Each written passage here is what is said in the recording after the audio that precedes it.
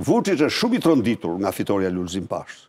Po sepse merr fund politika e argatëve të Beogradit me Albin Kurtin në Prishtinë dhe me Lulzim Bashën në Tiranë. Tjetër ka një problem Vuçiçi me Lulzim Bashën, sepse ndryshimi i i lidershipit në Shqipëri dhe në Kosovë e bën kombin shqiptar me dy lider të rinj.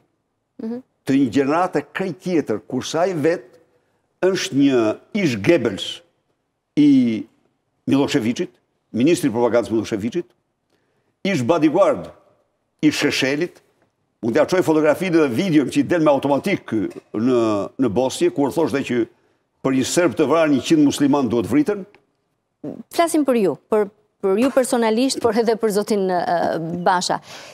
Vuçiç tha se ju doni Shqipërinë e madhe. Dhe pas jush është pas Bashës jeni ju. Çfarë qëndrimi keni ju për bashkimin kombëtar, për tezën e bashkimit kombëtar? E kam pyetur edhe mbrëm kryeministrin Zotin Rama, ai tha që nuk do të shprehet deri pas 26 prillit. Albin Kurti ka thënë se nëse do të ketë një referendum të tillë, unë do të votoj po, po vota e Sali Berishës, si do të ishte? Unë e them në mënyrë të padiskutueshme, që ideali i bashkimit kombëtar të shqiptarëve është një ideal i përjetshëm.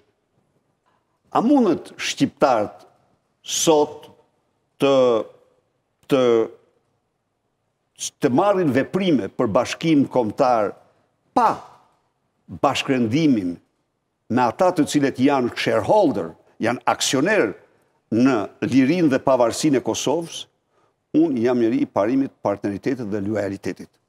Unë këtë nuk, nuk, e, nuk e këshilloj dhe për veten time, unë një hap të tillë nuk do ta ndërmerrja. Po si qytetar, e kuptova si politikan linjën,, si qytetar si do të votonit, nëse vota si do të ishte, nëse kishim një referendum? Jashtë kontekstit mhm. të partnerëve ndërkombëtarë, unë edhe si qytetar, nuk ndërmerrja veprim. Pse.